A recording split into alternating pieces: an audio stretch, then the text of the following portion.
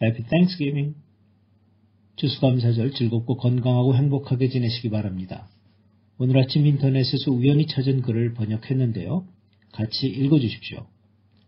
Forbes.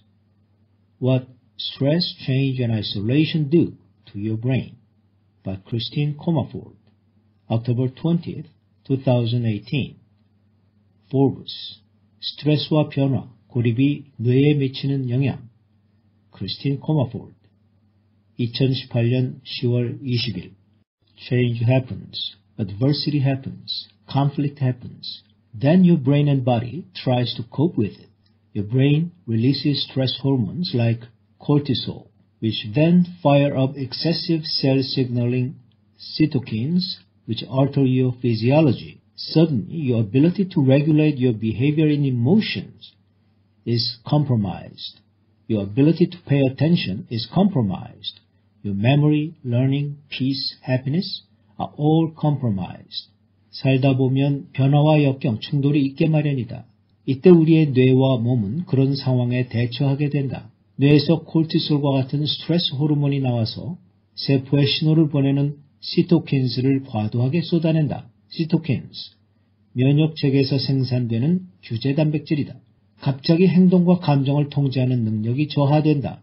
집중력뿐 아니라 기억력, 학습 능력, 마음의 평화와 행복감이 저하된다. Why? Because all the change has caused your system to be overloaded with stress. And excessive stress often causes us to withdraw in order to self-soothe, to try to cope, to try to slow things down, and remove further stimulus, since we are already overloaded. But then we get new stress, the stress of disconnection.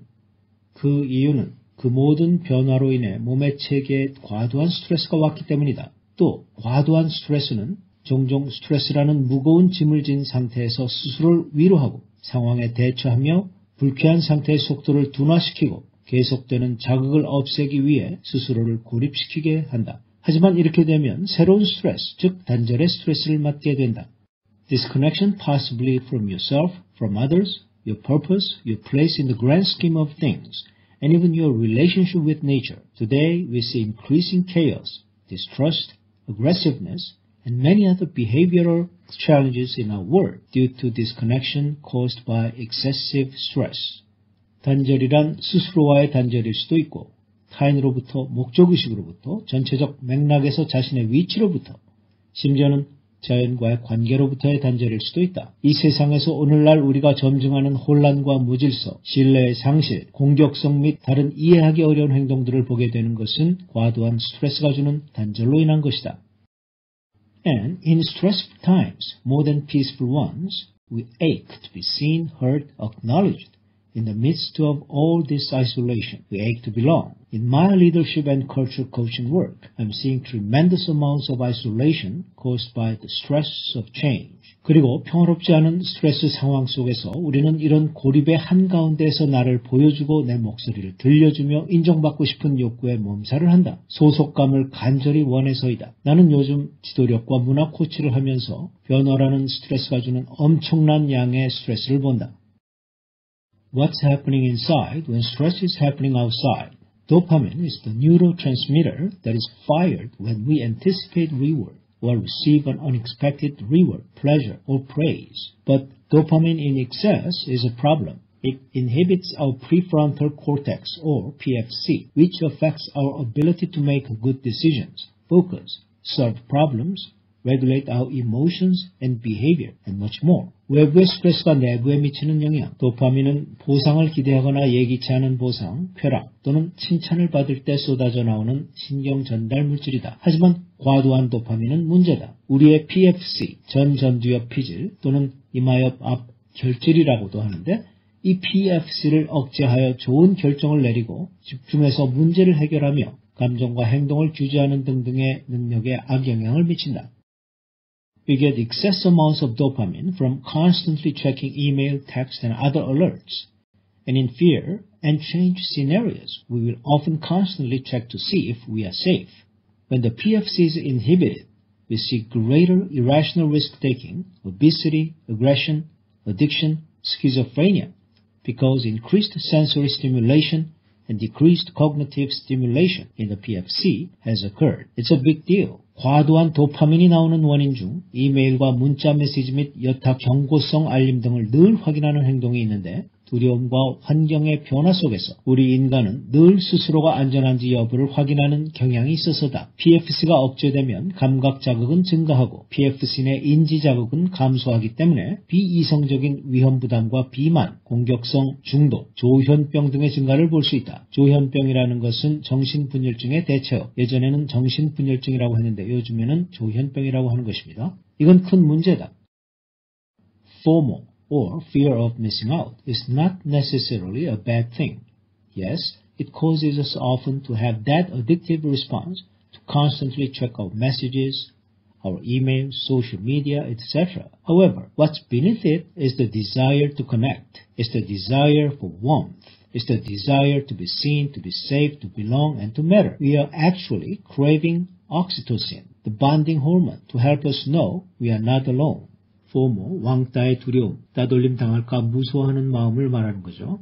이 FOMO가 꼭 안 좋은 마음의 상태는 아니다. 그렇다. FOMO로 인해서 우리는 메시지와 이메일, 소셜미디어를 늘 확인하는 중독적 행동을 보인다. 소셜미디어는 블로그나 SNS 등을 말하는 것입니다. 그런데 그 내면의 동기는 connection에 대한 욕망이다. connection이라고 하면 접속, 소속감, 인간관계를 말하는 거죠. 따뜻함에 대한 욕망, 나를 보여주고 내 안전을 유지하고 어디엔가 소속되고 내가 중요한 사람이라고 느끼고 싶은 욕망이다. 외로운 홀로의 존재가 아니라는 것을 확인시킬 옥시토신, 즉 관계 호르몬을 실제로는 간절히 원하고 있는 거다. Three ways to cure stress-based isolation. 1. Come together. Humans are tribal. Being together with other humans is how we have survived for centuries. And yet technology, in an attempt to bring us together, has actually brought us apart. 스트레스성 고립을 치료하는 세 가지 방법. 첫째, 같이 어울려라. 인간은 무리를 지어 산다. 인류 역사를 봐도 다른 인간들과 같이 지내면서 우리는 생존해왔다. 그런데 우리를 함께 묶어줄 시도로 발전한 테크놀로지가 실제로는 우리를 단절시켰다. We all want to be in the in crowd, not in the out crowd. Yet we are seeing more and more separation. This makes change even harder because when times are uncertain, we need one another more than ever. Here's a tool to connect with yourself and others more effectively. We help our clients launch a number of cultural programs to bring people together. 모두 내부자가 되고 싶지 외부인이 되고 싶은 사람은 없다. 그런데 현실은 점점 더 고립을 본다. 고립은 변화를 더욱 어렵게 하는데 그 이유는 불확실성의 시대에서야말로 우리는 서로를 더욱 필요로 하기 때문이다. 좀 더 효율적으로 자신과 타인을 연결해 줄 도구를 살펴본다. 우리의 고객들이 타인과 더 어울리는 것을 도울 수 있도록 우리는 수많은 문화 프로그램을 개발하여 운영하여 왔다. Practice compassion. When we encounter people who are angry, there is no point in judging someone who can't reach out to others. Better to reach out and give them as much an experience of sameness as possible to help them re-establish their ability to connect, to bring them safety, belonging, and mattering, and give them a positive experience of connection, which just might help them choose to learn to reconnect to themselves and others throughout their life. E. 동정심을 발휘하라. 분노한 사람들과 조우할 때 다른 사람과 원만한 관계를 맺지 못하는 걸 비판해 봐야 소용없다. 이들에게 다가가 동질감의 경험을 가급적 많이 들려줘서 타인과 유대를 맺고 소속감을 느끼며 자신이 중요하다고 생각하는 긍정적 인간관계를 경험하도록 도와주는 것이 낫다. 그렇게 되면 삶의 여정 속에서 본인과 타인과의 원만한 관계를 선택하는데 도움을 줄 수 있는 것이다. 3. Manage your energy during change and stress. Where does your energy go in times of change? Check out this cool image. Do you see why, how the stories we tell about change can affect a person's experience? How we as leaders can actually affect a person's physiology, neurotransmitter firing, hormones released? How awesome is this responsibility? 3. 변화와 스트레스의 시기에 에너지를 관리하라. 변화의 시기에 여러분의 에너지는 어디로 가는가? 쿨한 이 이미지를 생각해 보시라. 변화에 대한 이런 이야기가 한 사람의 경험에 어떻게 영향을 미치게 되는지 그 이유를 아는가? 지도자로서 우리가 어떻게 어떤 사람의 생리와 신경 전달 물질 유발, 호르몬 분비 등에 실제로 영향을 미칠 수 있을지, 또 이런 책임이야말로 얼마나 대단한 것인지. 에너지 관리, 도표 설명, 스트레스가 나면 평소보다 참지 못하고 화를 내고 두려워하며 방어적인 부정적 에너지가 발생한다. 피로감과 절망감으로 기진맥진한 상태가 되어 생산성이 저하된다. 반면 낙천적이고 참여적이 되면 업무 수행 능력이 올라가고 에너지가 재생되고 마음이 편해지는 긍정적 에너지 발생으로 생산성이 높아진다. The net net change causes stress which often results in isolation. The physiological impacts of stress and isolation affect our ability to navigate change. And once we are aware of these, we can connect with others to reduce these impacts. Change requires a lot of energy. Be sure to manage yours. 핵심 포인트, 넷넷이란 워렌 버핏의 스승이며 투자가, 경제학자, 증권 분석의 창시자인 벤자민 그레이엄의 가치 투자 테크닉이다. 회사의 가치를 순자산 가치로만 산정하고 진짜 가치가 있는 핵심 포인트라는 비유적인 표현이다. 변화는 종종 고립으로 귀결되는 스트레스를 유발한다. 스트레스와 고립의 생리적 영향으로 변화에 대응하는 능력이 저하되는데 이 사실을 잘 이해함으로써 이런 악영향을 줄이기 위해 타인과 관계를 맺을 수 있다. 변화는 엄청나게 많은 에너지를 요구한다. 그 에너지를 관리하라. Yes, change is prevalent.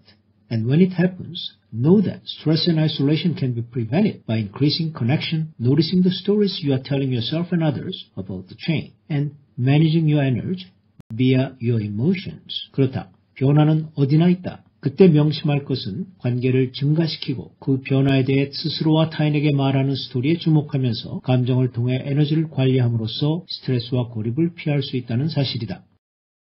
Christine Comerford is leadership and culture coach. I've lived many lives. Serial entrepreneur, technology and CEO advisor, venture capitalist, engineer in the early days of Microsoft. Christine Comerford, 지도자 문화 코치이며 수많은 기업을 설립 경영하였고 CEO 컨설턴트이며 벤처 투자가이다. 마이크로소프트의 초창기 엔지니어를 역임한 사람이기도 하다.